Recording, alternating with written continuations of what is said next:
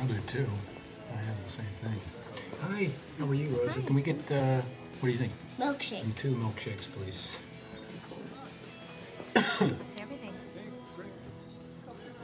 So Colton, I want to ask you about when the angels sang to you. Sure.